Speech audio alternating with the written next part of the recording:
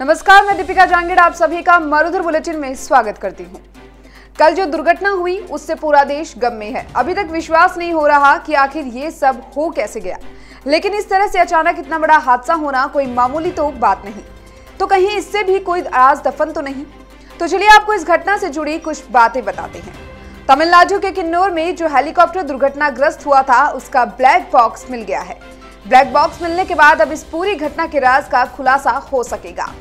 घटना के बाद से ही ब्लैक बॉक्स की खोज जारी थी।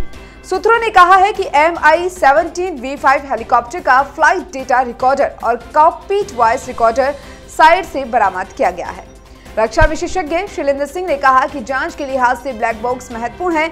जाँच के दौरान यह पता चलेगा कि आखिर पैरामीटर क्या थे? पायलट ने आखिरी बार क्या कहा था? इमरजेंसी लगाने की कोशिश की थी और वह लग पाई या फिर नहीं। वहीं आपको बता दें, हेलीकॉप्टर हादसे में राजस्थान के वीर सपूत कुलदीप राव भी शहीद हो गई हैं।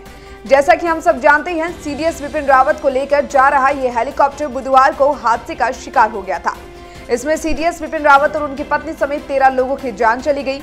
इनमें राजस्थान के झुंझुनू ज़िले के गरडाना खुर्द निवासी कुलदीप राव भी शामिल है।